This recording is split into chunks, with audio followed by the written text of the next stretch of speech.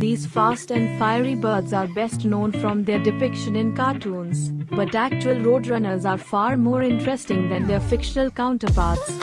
From their morning sunbathing routine to their impressive running speed, discover some revealing facts about the curious roadrunner. Roadrunners are members of the cuckoo bird family, and while they look nothing like their cuckoo relatives, the call of a roadrunner sounds like coo. Two species of roadrunners exist, the greater roadrunner and the lesser roadrunner. They are native to the southwestern desert in North America. Although capable of limited flight, it spends most of its time on the ground and can run at speeds up to 32 km per hour. Cases where roadrunners have run as fast as 42 km per hour have been reported. This is the fastest running speed for any bird that can also fly. While running, roadrunners use their long tails for steering, balancing, and braking. Contrary to their portrayal in cartoons, they are not nearly as fast as coyotes. Roadrunners are able to fly for short bursts but do so infrequently due to their impressive running ability greater roadrunner has four toes on each foot.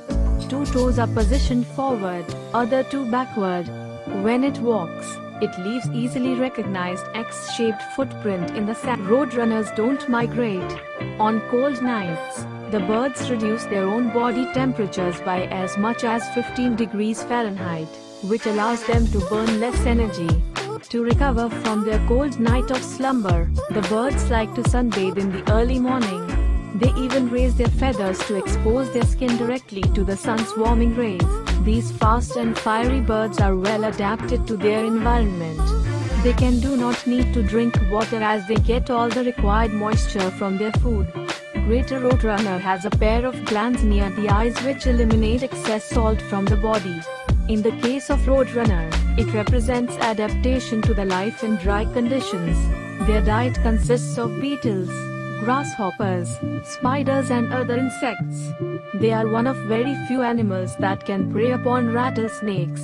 It is also the reason behind a nickname given to them the snake killer. The birds snatch the prey and crush it against a rock before swallowing it. Roadrunners mate for life.